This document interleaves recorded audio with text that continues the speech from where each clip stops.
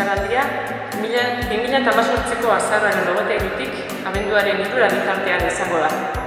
Amaika egun Euskaraz leroarekin.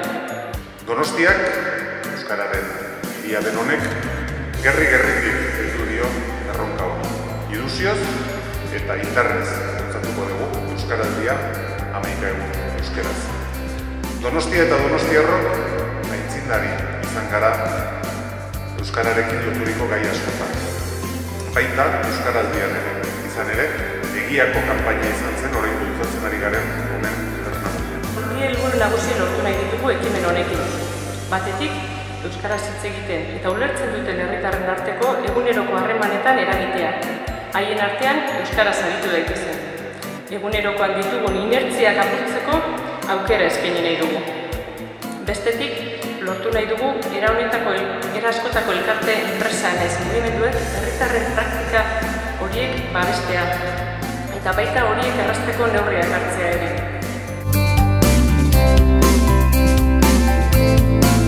Mota guztietako erakunde eta entitatek ere pausoiek eman beharko dituzte. Beharrezkoak ere dira erakundek normanakoek egitako auto horiek babesteko neurriak hartzea, euskaraz egiteko aukera horiek indartu eta sustatzea. Baldintzak sortzeko bitartekoak sortzea dagoki guri, eta nolabait euskaraldiak aukera hori e, sortu dira. Euskal Herrian bezala, Donostian bertan, egoera soziolinguistiko desberdinak ditugu auzoaren arabera. Tokian toki aldakorrak dira ezagutza eta erabilera datuak. Eta horregatik oso garrantzitsua da, bakoitzak bere realitatearen araberako egitasmoa zehaztea. Erabilera bultzatu nahi badugu, egiteko moduak erakargarria eta positiboa izan behar du. Bi aukera izango dira parte hartzeko. Aho bizi edo belarri prest eman dezakizgu izena. Zer da aho bizi izatea? Ba, amaika egun horietan, Euskara ulertzen duten guztiei, Euskaraz egingo dien pertsona da aho bizia. Baita, solaskideek erdaraz erantzuten dutenean ere. Belarri presta berriz, ekimenak irauten duen amaika egunetan, dakienari berarekin Euskaraz aritzeko gonbita egingo dio pertsona da. Berak, Euskaraz zein erdaraz erantzunez. Euskara ulertzea da belarri prest izateko gutxieneko baldintza. Nire aldetik izaten da, ba, erderaz hasten zela errestasunagatik, ez? Eta askotan beste pertsonak egual euskeraz nahi egin, nahi dut euskeraz hitz egitea berak ere ikasteko. Eta nik uste hori dela gure, bueno, nire pertsonalki nire erronka hori da, ez?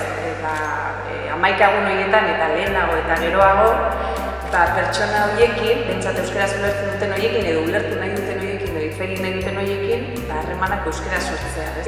Oitura gatik edo ez dakit, asmo honez, para no poner en aprietos mi euskera, se me acercan en castellano todavía, no se lo reprocho.